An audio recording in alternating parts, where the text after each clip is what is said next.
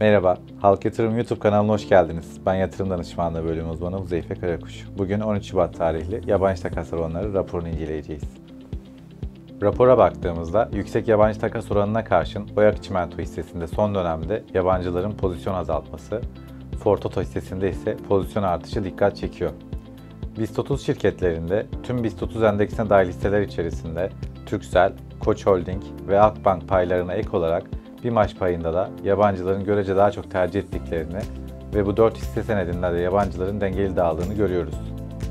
Satışların devamlı azaldığı paylarda Türksel, Tofaş, Arçelik ve Oyak Çimento yer alırken ilgili paylarda 1 hafta, 1 ay ve 3 aylık zaman dilimlerinde satışların devamlı azalması ilgili hisseler açısından önemli olabilir. 3 ay ve 1 aylık dönemlerde alıcılı olup son hafta yabancıların satın tarafında olduğu pay senetlerinde ise sadece Koç Holding yer almaktadır.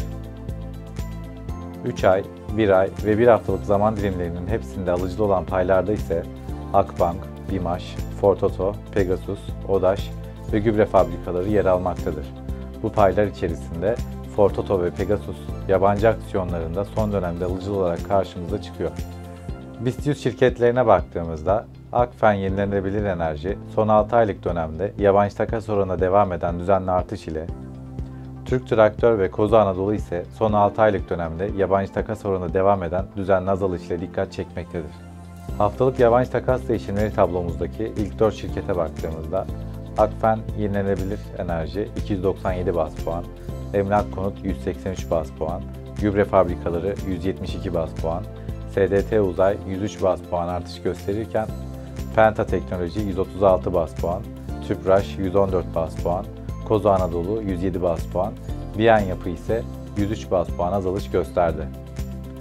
Son bir yıl içerisindeki verilere göre BIST 30 endeksi yabancı takas oranı grafiğine baktığımızda en yüksek %41.97 olan yabancı takas oranı minimum %29.41 seviyesini gördü. Bugün gelen verilere göre ise yabancı takas oranı %35.91 olarak karşımıza çıkıyor. Bu haftaki yabancı takas oranları raporumuzun sonuna geldik.